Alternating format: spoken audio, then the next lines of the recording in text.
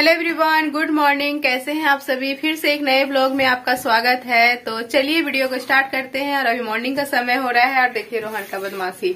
और अभी मैं चाय लेकर जा रही हूँ पीने के लिए, बिल्कुल सुबह है और मैं नहा चुकी हूँ फ्रेंड तो चलिए चाय को एंजॉय करते हैं पहले। यहाँ बहुत जोरों का ठंड है, एकदम। तीन दिन से धूप पे निकल रहा है। और यहाँ देखिए रिया क्या बना रिया यहाँ निमकी बना रही है। मैं रात में ही आटा गूंद के रख दी थी तो उसको ये काम करने में बहुत मन लगता है फ्रेंड्स तो मैं दे देती हूँ ये करने के लिए। उधर ये बेल कर कटिंग कर देगी, उधर मेरी सास उसको छान देगी और मैं यहाँ पर आईब्रो बना रही थी किसी और का तो ये काम कर दिया था ये लोग। और वैसे भी रिया को ये काम बहुत मन लगता है। अगर मैं फ्री भी होती हूँ तो भी वही बनाती है ये। और देखिए कितना करारा बना रही, एकदम अच्छा से मतलब हो जाता है, उससे कर लेती है वो। और इसे मैं कंटेनर में स्टोर करके भी रख देती हूँ। इसीलिए मैं हमेशा बनाती हूँ फ्रेंड निमकी को और कभी कभार चाय वगैरह के साथ घर में रहता है तो खा लेती हूँ। हम लोगों का मॉर्निंग का हो गया नाश्ता। वही चाय बनाई थी रिया और सब्ज़ी था, रात का बचा हुआ, उसको मैं गर्म कर दी थी। चाय, निमकी और सब्ज़ी, यही नाश्ता हो गया। और अभी मैं खाना बना रही हूँ, मटर आलू की सब्ज़ी, दाल, चावल। रात में भी मैं मटर आलू ही बनाई थी तो आधा मटर बचा हुआ था तो अभी मैं बना ले बना ले रही हूँ। ये रहा मेरा मटर आलू, सब्ज़ी, और दाल देखिए यहाँ है, दाल बन गया है। दाल, चावल मेरा बन गया मैं सब्ज़ी बना रही हूँ। तो सब्ज़ी भुनी गया है, बस इसमें मैं पानी डालूँगी अब।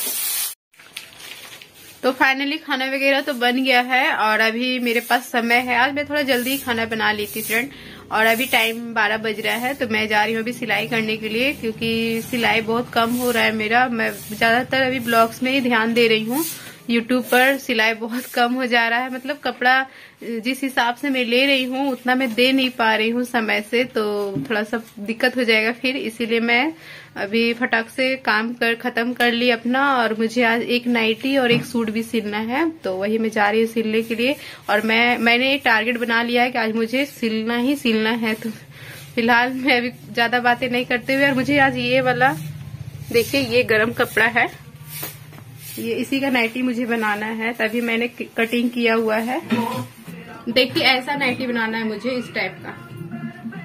ऐसे, इसी तरह का स्लीव्स देना है और कॉलर रहेगा, आगे बटन रहेगा और ये इसमें ये लगा हुआ है बेल्ट और ये इस टाइप का देखिए। ये नाप है, इसी नाप से मुझे ये बनाना है। देखिए, अभी मैं कटिंग कर ली इसका। देखिए, ये यहाँ पर बटन रहेगा और इसमें स्लीव्स रहेगा, यहाँ पर। तो मैं इसको सिल कर फिर आपसे मिलती हूँ। तो फ्रेंड्स नाइटी जो सिल रही थी मैं, वो सिल गया है। उसको भेज दी हूँ बटन के लिए। पड़ोस में ही भेजती हूँ काज बटन करने के लिए।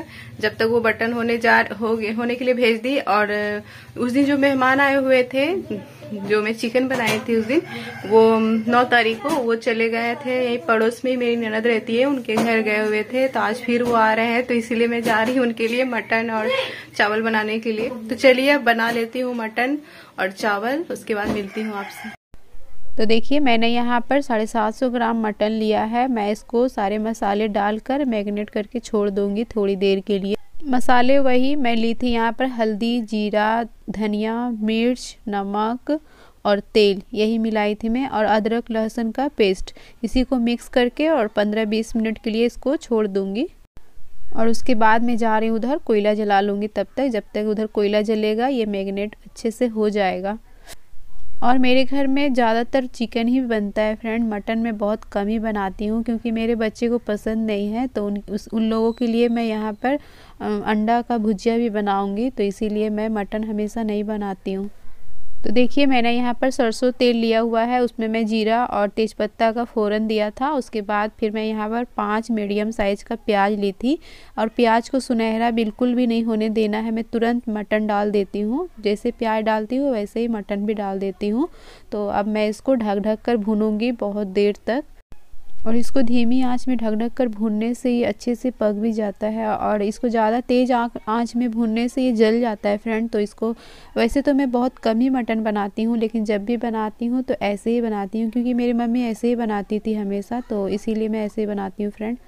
और इसमें पहले से ही नमक दिया हुआ था तो देखिए यहाँ पर कितना पानी इसमें से मतलब छूटा है। तो इसी पानी से अभी थोड़ी देर और भूनना है, उसके बाद इसमें मैं अदरक, लहसुन का पेस्ट डाल दूँगी।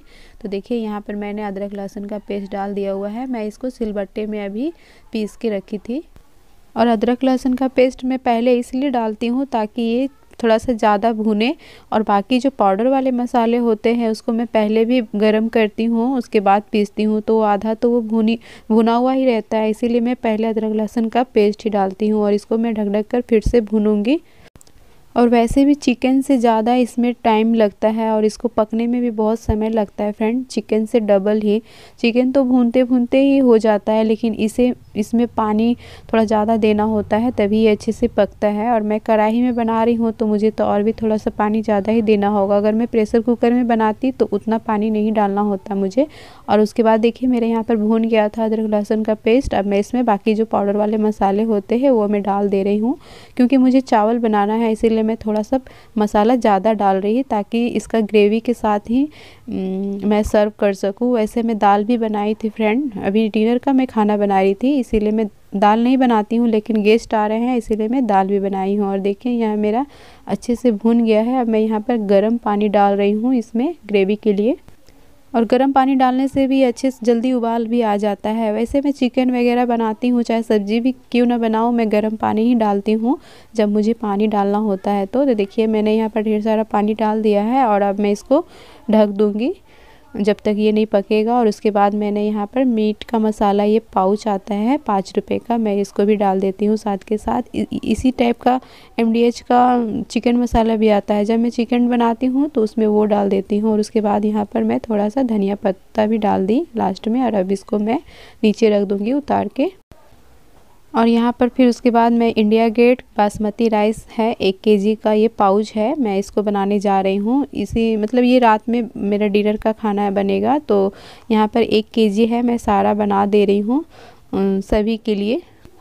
और ये चावल मैं मतलब कभी कभार ही बनाती हूँ या फिर फेस्टिवल होता है तो या या कोई गेस्ट आए तो तभी मैं बनाती हूँ। वैसे मैं नॉर्मल चावल बनाती हूँ, जो 25 किलो का पाउच आता है। तो चावल मेरा उधर पक रहा था और इधर मैं दोनों बच्चों के लिए अंडा फ्राई कर रही थी। तो यहाँ देखिए, मैं सिंपल से उसी तरीके से जैसे बच्चे खाते हैं मेरे, वैसे ही बना रही हूँ। तो मैंने यहाँ पर एक मिर्च डाला हुआ है, तेल, जीरा और टमाटर, प्याज। इसको भून कर अब मैं इसमें, इसी में अंडे फोड़ के डाल दूँगी। मैंने यहाँ पर दो अंडा लिया हुआ है, दोनों के लिए एक एक पीस। और इसका मैं भुजिया बना दे रही हूँ। तो वैसे तो मैं आमलेट भी बना सकती थी, लेकिन एक एक आमलेट में बहुत कम हो जाता है, इसीलिए मैं भुजिया बना दी ताकि उसमें प्याज, टमाटर ये सब भी डाल सकूँ। तो थोड़ा सा ज़्यादा हो जाता है, इसीलिए मैं भुजिया बना दी और इन लोग को पसंद भी है भुजिया खाना।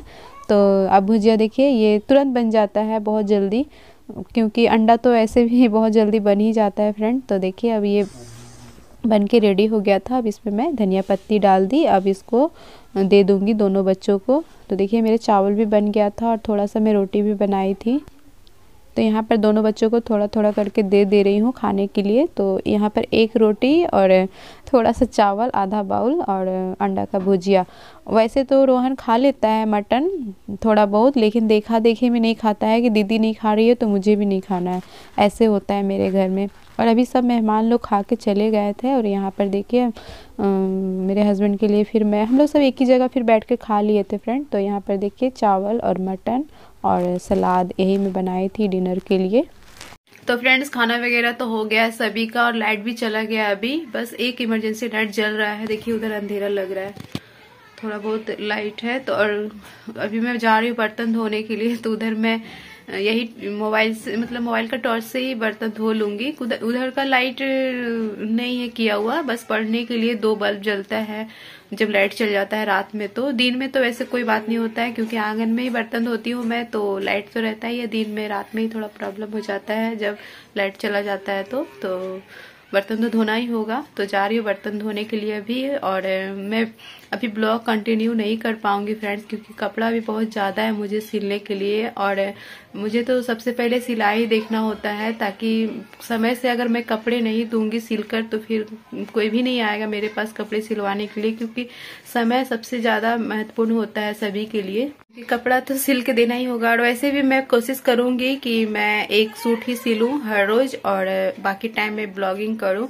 वैसे घर का भी काम होता है फ्रेंड ऊपर से कभी कभार आईब्रो भी बनाना होता है मुझे। मतलब पूरे दिन में मैं पाँच छह आईब्रो बना ही लेती हूँ तो उसमें भी समझिए कि एक दो घंटा चली जाता है पाँच छह आईब्रो बनाने में। थोड़ा थोड़ा ही देर में आते हैं लोग, लेकिन थोड़ा थोड़ा समय लग ही जाता है। थोड़ा बहुत गपसप करने में भी हो जाता है। तो इसीलिए समय का पता नहीं चलता है मेरा और ऊपर से छोटा सा दिन कर रहा है अभी तो बिल्कुल जल्दी ही शाम भी हो जाता है। तो इसीलिए ब्लॉग कंटिन्यू नहीं हो पा रहा है। दो दिन से मैं कोशिश कर रही हूँ, लेकिन होता ही नहीं है। तो कोई बात नहीं, मैं जैसे ही बड़ा दिन करेगा, वैसे ही रेगुलर वीडियो आने लगेगा। वैसे मैं कोशिश करूँगी। अगर मेरा सिलाई करना नहीं होता, तब तो मैं एक दिन में दो ब्लॉग कर लेती, लेकिन थोड़ा सा सिलाई का मेरा, मुझ पर प्रेशर होता है। तो वैसे आप लोग समझ, समझिएगा मेरा प्रॉब्लम तो वीडियो को मैं यहीं पर एंड कर देती हूँ फ्रेंड अगर पसंद आया होगा तो प्लीज़ सब्सक्राइब कर दीजिएगा। अगर आप इस चैनल में नए हैं तो सब्सक्राइब कर लीजिएगा फ्रेंड बस आज इतना ही, फिर मैं मिलूँगी कल नए ब्लॉग में। तब तक अपना ख्याल रखिएगा। Bye thank you thanks for watching take care bye thank you